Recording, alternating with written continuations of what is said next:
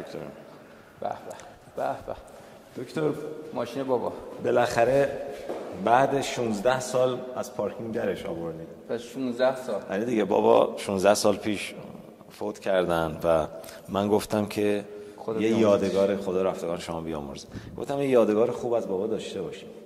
واقعا. و تا آخرین روز میشه گفت تا یک هفته دو هفته قبل از فوتش سوار می‌شد. خدا. و این ماشینم اونجوری که فکر می‌کنید بازسازی نکردم. بازسازی به معنای امروز این که ما این ماشین رو به قول معروف بامپر تو بامپر بریزیم پایین و دوباره از ما جمع کنیم. این اتفاق برای ماشین نیفتاده. ولی در حد چرا؟ مثلا صافکاری خیلی سالم بود. یعنی آره ماشین اینطوری که خودت ماشین نگهداری می‌کنی مطمئنم البته آره. اینو تو پرانتز بگم. این ماشین سه بار کیلومترش صفر کرده.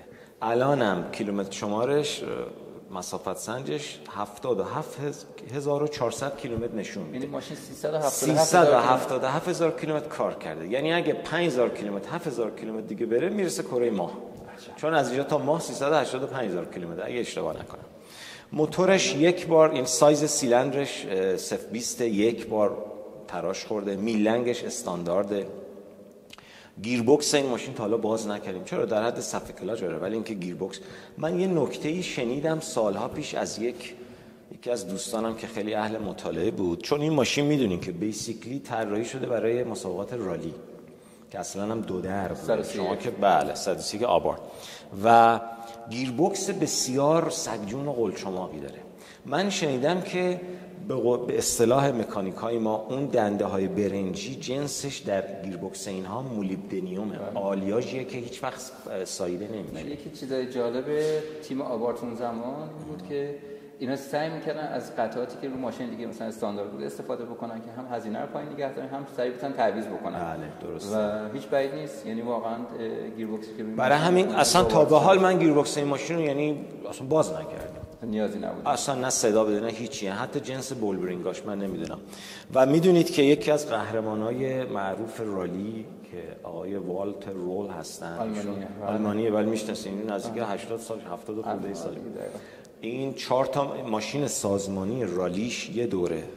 131 آبارت بوده و لانچیا. بله. لانچ 037 و صفر سی هفت بله. صفر سی هفت که می‌دونید که از هزار و از دو لیتر 340 اسب گرفته. یعنی یه ساختمان عجیبی داره موتورش. به هر حال این ماشین اساسا ماشین رالی بوده. بعد که دیدن یه ماشین محبوبیه می‌تونه یه ماشین میت سایز خانوادگی باشه اه، چهاردرش طراحی شد و روانه بازار شد. برای همین جای پای عقب خیلی خوبی نداره. خود لگرومش تنگه. شاید تو پلاس تو چهاردره. می‌تونید توشو ببینید بله، بفرمایید. واقعا اصلا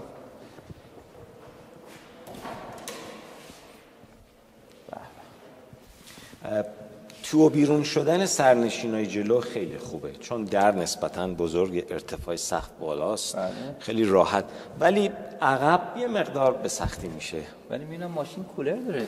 بله این ماشین خب هیچ 131 ایران من ندیدم کولر داشته باشه. این ماشین حالا من راجع به اون سیستمش بگم اکثر این فیات های سواری رو دهه هفتاد شرکت دیزل اتوپارت وارد می‌کرد که نمایندگیش ده هفتاد میلادی. هفتاد میلادی.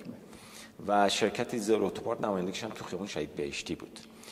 این ماشین رو شرکت دیزل اتوپارت وارد نکرده. این ماشین رو یک شخص یک ایرانی رفته کارخونه سفارش داده که حالا اسنادش هم من دارم نشونتون میدم. و اون موقع آپشن ها رو سفارش داده. آپشن هایی که داشته داره کولر هست air condition ه دور موتور فرمون بشکن. قفل فرمون حالا اون موقع سفارشی بوده. گیربکس شش دنده یعنی پنج دنده جلو شیشه رنگی. و آره تو دوزی حالا مثلا چرم پارچه این ماهوت نبود. بله تقریبا. من برای تو دوزیشم حدود یک سال گشتم تو بازار خودمون اطراف تهران. و خود تهران که یک چرم پیدا بکنم که تکست فابریک خودش داشته باشه. تو دوزی فابریکش من باز کردم گذاشتم کنار. البته جلوش خیلی دیگه از بین رفته ولی همون رو گه یک سال گشتم تا پیدا کردم. که عینا باشه مثل تو دریا و قبلیش. فابریک بودن و بله. ماشین حفظ بشه تقریبا بله. بعد سیستم کولر این خیلی جالبه. اولا که این کلیدهای فرامین برقی این ماشین مثل کلید چراغ فلشر گرم کن. اینها سویچه که باز می‌کنید آیکوناش با فیبر نوری روشن میشه که هنوز کار می‌کنه. خب. و سیستم باد گرم و سردش اتوماتیک یعنی شما وقتی دیفروستو می‌زنین اون دریچه اتوماتیک از طریق دو تا دیافراگم تمام اون زیر خودش باز و بسته میشه هوا رو میده به شیشه و اون اهرم میره به سمت گرم. AC رو که می‌زنین اتوماتیک defrost رو میبنده دریچه ها کار می‌کنه میاره روی کولر. و جالبه که این سیستم ساخت کارخونه کرایسلره من اینو باز می‌کردم برای سرویس. اولین بار آرم کرایسلر. آرم کرایسلر رو دیدم. و این داره کار می‌کنه. عجیب. خدا اولی شما بیارت من مرحوم عموم یادم میاد رفت ایتالیا یه دونه از کارخونه آورد ولی رنگ سبز فسفوری. آره، یه رنگایی. اه، دهه هفتاد میلادی می‌گفتن رنگای اون رنگا. اون موقع تو اروپا خیلی مرسوم بود. چون. کشورها همه مه آلود بوده برای که تو جاده مثلا پژو همه اینجوری رنگاش تقریبا. خب. و تو دوزی پارچه بیج تقریبا با تو یعنی خیلی رنگ و تو دوزی خیلی خاصه. ماشین من اولین بار دیدم اصلا خیلی برام جالب بود. واقعا چقدر دیگه حالا دیگه بعد جالبه این ماشین شما پشت فرمون که میشینین خیلی اشراف دارید به اطراف. چون اصلا نقطه کورش خیلی کم. همه جا رو می‌بینین شما ولی معلومه ژن ماشین بازی از باباست ها دیگه. با این آپشنایی که آره دیگه. بالاخره اینجوری. بعد علا رقم این که حجم موتور. چون این اینا 1300 داشتن 1600 داشتن 1800 هم داشتن. سفارش آمریکاشون دو میل سوپاپ 1800 بوده. این خب سفارش اروپا بوده 1600 قدرت موتورش 75 اسب. در 5700 دور در دقیقه. خب خیلی اعداد ارقام امروزه خنده داره. ولی نسبت به این قدرتش ماشین خیلی چالاکی بوده. فکر کنم هم خیلی خوب باشه. که عالیه. دینا البته یه خورده مثلا حالا جلوبندیش خشکه چون اساسا ماشین مسابقه بوده. خیلی بله. نرم نیست مثلا تو خیابونای تهران.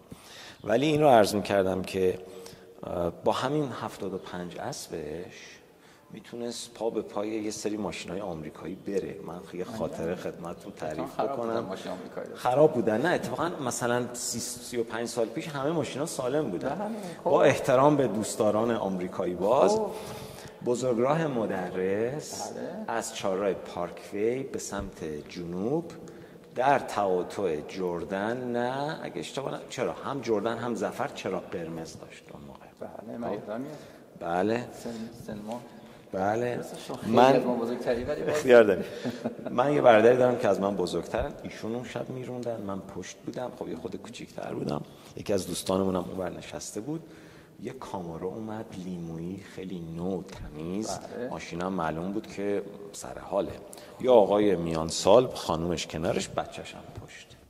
چراغ که سبز شد این برادر من و اون آقای راننده کامارو فکر کردن که باید یه زورآزمایی بکنن خب. من فقط یه لحظه دیدم که این کیلومتر شمارش حالا اگه ببینید تا 180 درجه بندی شده. بعد از 180 میاد میشه KMH درسته؟ من یه لحظه نگاه کردم دیدم این عقربه سبز رو KMH عجب. بیدارم بودم و خواب نبودم. بله. به چهارراه زفر که رسیدیم چرا قرمز بود داداش وایساد. کامارو تازه به ما رسید. بله. حدس بزنید شیشه رو کشید پایین چی گفت؟ چند تا جوون رو نصیحت کرد که این چه وزرانه بله گفت به برادر من گفت جوان یه خورده آرومتر با این ماشین رانندگی یعنی. دید دیگه دید دیگه هیچی نداره بگه دیگه دیگه روش نشد بگه آقا تو مگه چند سیلندری آره. سه تا جوون هیچ وقت- مردم به خطر. بله، درسته، با فهمیدم. یه ماشین 75 اسبی هیچ وقت چالاکی ماشین های ایتالیایی رو دست کم نگیرید از یه اتوبیانکی آبارت 90 اسبی 70 اسبی بگیرید تا حالا مشکلات خودش داره ها شما که می‌دونید در این دهه فیات و لانچیا خب با هم کار می‌کردن بله. ورقاشون رو از روسیه میخریدن و متاسفانه ورقای خوبی بله، توی کارخونه استفاده. نشد بله. خیلی آمار پوسیدگی این حالا این خوشبختانه ما تو پارکینگ نگه داشتیم فیات و لانچیا آمار پوسیدگیش خیلی بالا بود. متاسفانه. یادم تو برعکس آلفا اه، علیه شرکت لانچر شکایت کردن مردم یعنی اصلا بله. کار به جایی کشید که شکایت کردن. آره. ولی در کل برای یک ماشین که حالا فاکتور خریدش هست مثلا اون موقع بوده 4200 دلار. حالا نمی‌دونم اون موقع انقدر باید ارزون می بوده گرون می بوده ولی یه ماشینی بوده که شاید مثلا برای خانواده های متوسط یه ماشین کافی و مناسبی بوده.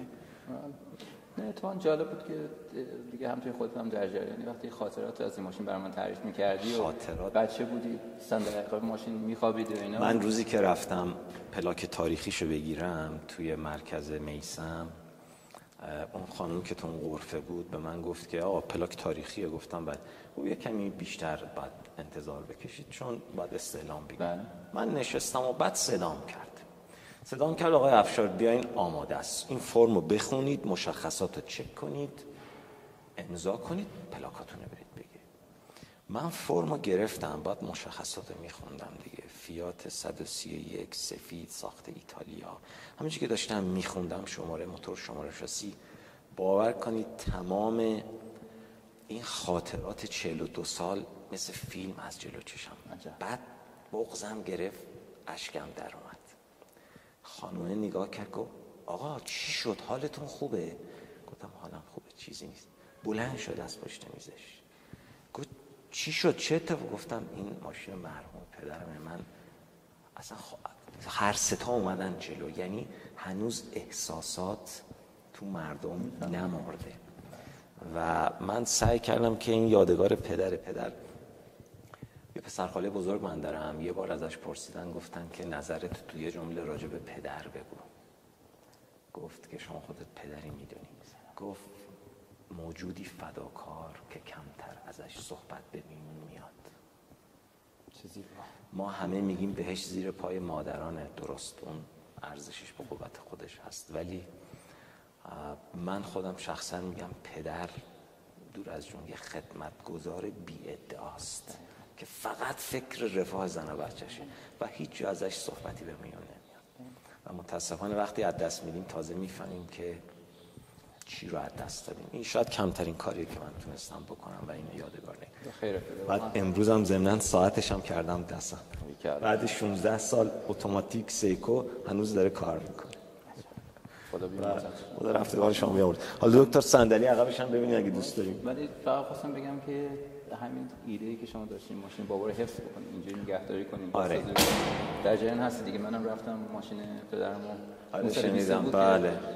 این رفتیم پیداش کردیم و دیگه الان بازسازی میشه. انشالله یه فرصت بشه با هم بریم بالا سرش. انشالله حتما. شاید دکتر این کمپین رو من رو انداختم. 100 درصد. من اصلا ایده رو شما گرفتم. یعنی دیدم الان خیلی اینجوری- دنبال ماشین پدرشون هستن و از دوستان. اینجوری شما با جون دل این ماشین نگه دارید آره این امانته. من اینو باید تا اونجا که می‌تونم حفظش کنم.